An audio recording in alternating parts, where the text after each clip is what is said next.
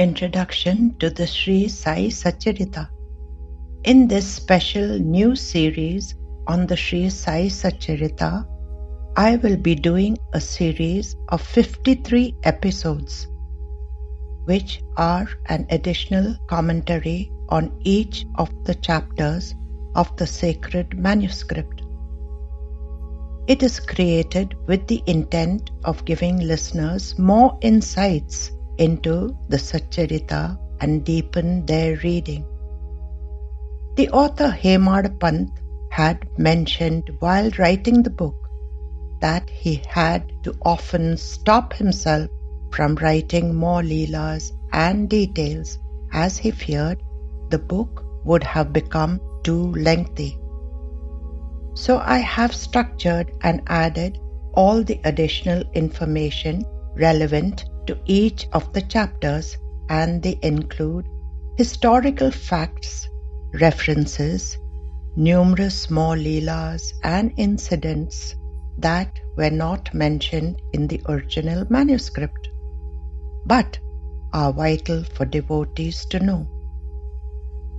I am deeply grateful that by Baba's blessings, this series has come together and he fulfilled my deep seated wish to do something on the Sai Satcharita.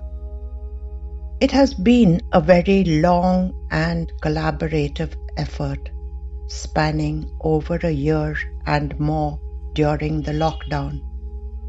And I wish to specifically thank Anand, Sada, and Trishla for their help in editing and assisting me in this enormous body of work. Some of the commentaries are short, spanning about 10 to 15 minutes in length, and for some chapters, they are about an hour long. I hope that this becomes a useful resource to you and helps you deepen your remembrance and devotion to Baba, for then it has served its purpose. Now we shall begin the series starting with chapter 1. Chapter 1 Sri Sai Satcharita As in the beginning of any poti, Dabholkar starts with the invocation of the deities and veneration of all the gods and goddesses, and seeks their blessings for the success of the sacred work that he has undertaken. Then he describes the Leela of Baba grinding the wheat. Baba then asks the four ladies to throw the flour along the boundaries of Shirdi and thus prevents the epidemic of cholera from entering the village and saves all the villagers. I shall now talk about the remote village of Shirdi and the Dwarkamai where Baba spent 60 years till he took Mahasamadhi in 1918. Shiladhi or Shirdi was a small remote village. It had about 700 homes with a school and two wells. There were no roads, street lighting, or any other amenities. However, the villagers had jobs. They were goldsmiths, blacksmiths, potters, and farmers. The Dwarkamai was an old, dilapidated mosque, and it was the garbage dumping site for the villagers. Even the lizards had run away from it. It was cleaned, and Baba resided there. The floor was uneven with pits in it, and it was covered with the slurry of cow dung, but was very clean. All the devotees congregated there for Baba's darbar and to seek his blessings. Dikshit, Apte, and Dabholkar were like minded friends who read the Bhagavad Gita together. They had a pact that if any of them met a saint like Shivaji Maharaja's Guru, Sant Ramdas Swami, they would go and meet him. Dikshit was the first to go to Shirdi, and from Shirdi he wrote to them about Baba's glorious divinity. Dabholkar, however, was wavering in his mind, as he did not believe in Sadgurus. The reason being, a friend of his had recently lost a son in Lonavala. After all medical remedies failed, he asked his guru to sit with the child. However, the child passed away. So Dabholkar thought, what is the use of having a guru if he can't save the child? Dikshit repeatedly asked him to go to Shirdi, but he made excuses. However, it was Chandorkar who forced him to visit Shirdi, and thus he came to Shirdi in 1910. And seeing Baba, his life changed forever. I shall now talk a little about the significance of the quern or handmill. The significance of the quern or handmill. If one is born, one has to perform karma, which leads to a cycle of rebirth. One should perform nishkam or selfless karma without looking for the fruits of the action. Only then can one destroy the karma bij or the seed that yields the harvest of rebirth. How does one become free from the shackles of rebirth? The Bhakti Marg is the easiest and the best path to follow. This can be achieved by visualizing the quern. The quern has two grinding stones. The lower is stable and is symbolic of Saburi, the upper is Nishtha. Saburi is joyous, courageous forbearance.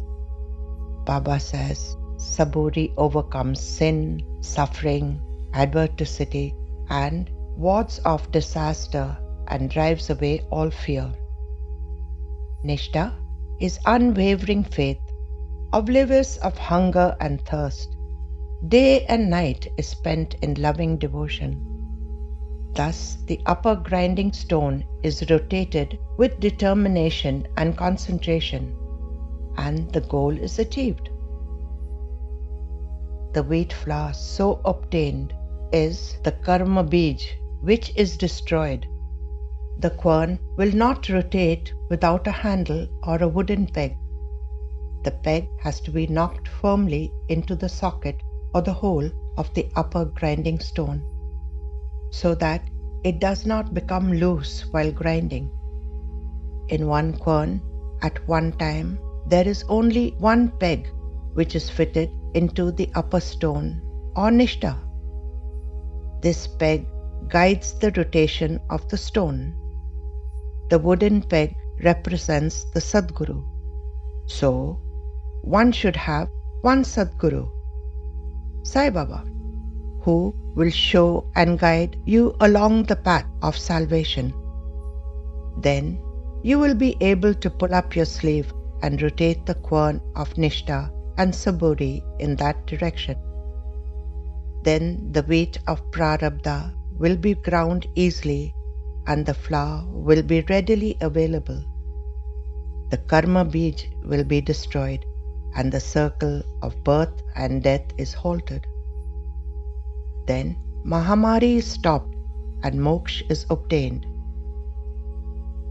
Baba would often grind wheat and he would do so in the afternoon when the devotees had gone to their rooms and he was all alone.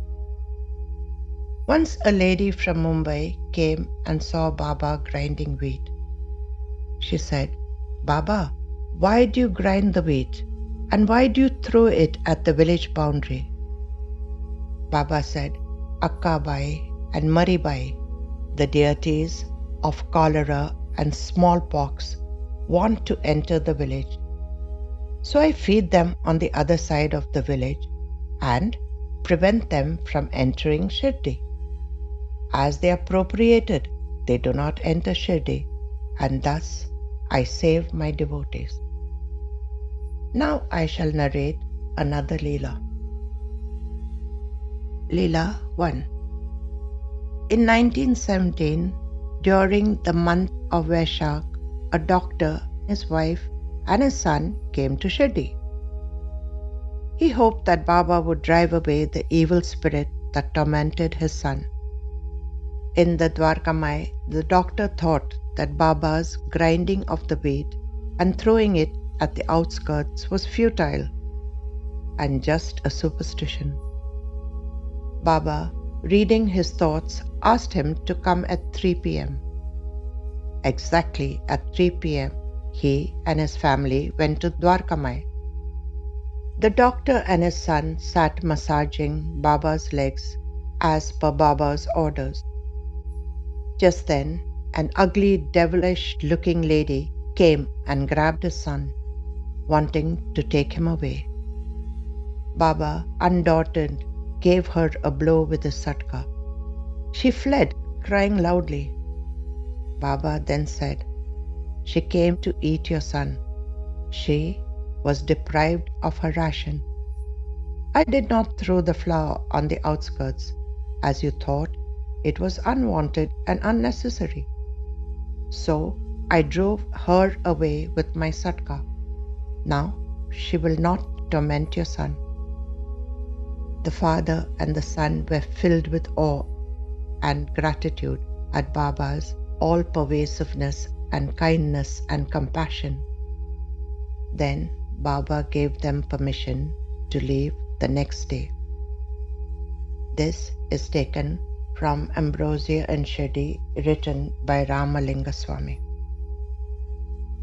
Leela number 2 Once Uddhavesh Shamdas Baba went to the Dwarkamai and found Baba grinding wheat. At that time, Baba had ground a little wheat and was about to grind some more. He went to the sanctum sanctorium and sat down and noted that Baba, while grinding, was singing a while, saying the Vedanta a while, then shouting abuses he was so fascinated by the grinding that he asked Baba, Baba, why have you kept this handmill? Why do you do the chore of grinding? Baba said, Whoever comes to me, I have to grind for them. Then he realized that Baba ground the suffering and karmas of his devotees who came to him. This sentence struck the core of his heart and he realized how much trouble and hardship Baba undergoes for us. Asanchit and Kriyaman karmas are whirling around like a wheel. Then there are our hopes, our aspirations, goals, and trials. Only the Sadguru shoulders our tribulations for materialistic benefits. Finally, to set us on the path of spirituality, helping us to take the first few steps like a mother caring for her child who falters and falls, and every time the mother is there to lift the child up.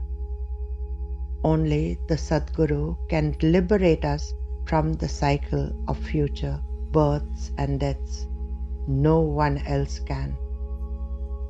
This Leela is taken from Sai Leela magazine, Ank 4 5. The year is 1926.